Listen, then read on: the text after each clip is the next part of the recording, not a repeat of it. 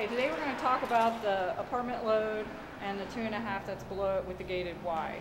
Um, you'll note that above the two and a half you have an inch and three quarter of a hundred foot, that's your apartment load, and below it you're going to have the two and a half, which is 200 feet. Now this is engine 85 that has a 200 feet, engine 84 right now has 150, will be put up to 200 feet as soon as we get the hose together. Um, I'm going to go ahead and have him pull that apartment load out and this is how it should be deployed once you get there and you know you're going to be needing it. Um, for instance, like if you're going to Stonebridge Apartments and you're going to the second floor, you're going to need that additional length of hose, so you'll want to carry that up. So he'll pull that off. Or anytime that you have a pre-connect inside a building that you're going to need additional hose for, you'll take this also, or standpipe.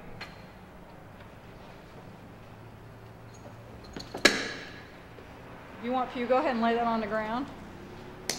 And then the driver normally will get up behind here and pull that two and a half gated Y down because that's your connection.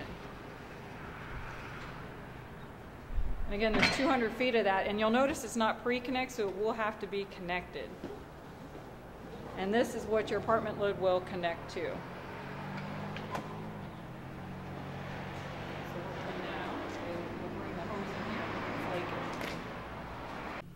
Ready when you are.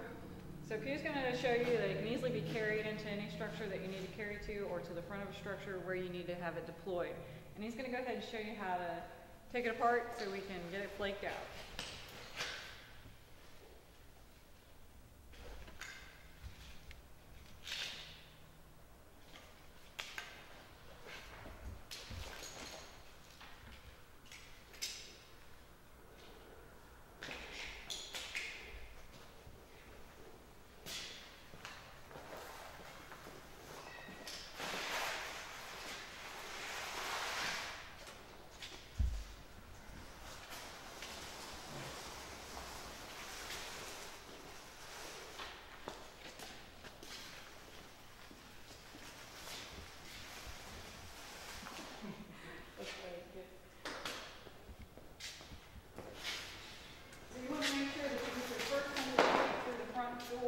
Why for you